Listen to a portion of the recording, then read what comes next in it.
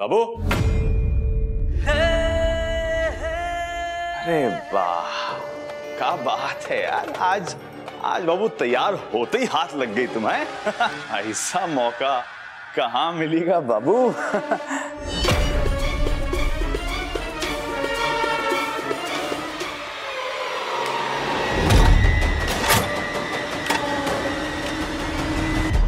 कृष्णा जी। बहुत होगी तुम्हारी नौटंकी।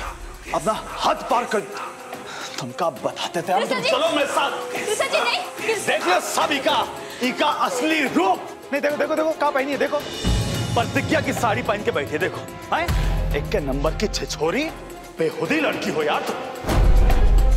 अब ये सब देखने के बाद क्या सोचने समझने? बस अब चुप रहोगे तुम। बिना किसी और का पक्ष सुने किसी पर दोष देना ये कहाँ के संस्कार है कहाँ का शिष्टाचार है ये? उसकी कोई गलती नहीं है। हमने कहा था उसे हमारी साड़ी पहनने के लिए।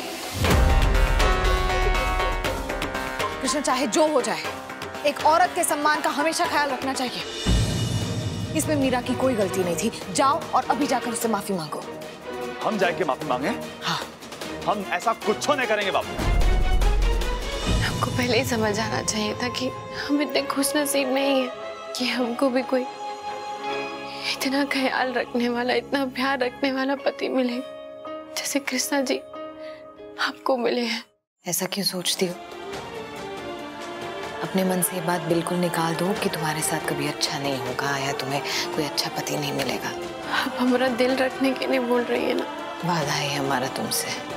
तुम्हें अपने मन का पति ज़रूर मिलेगा।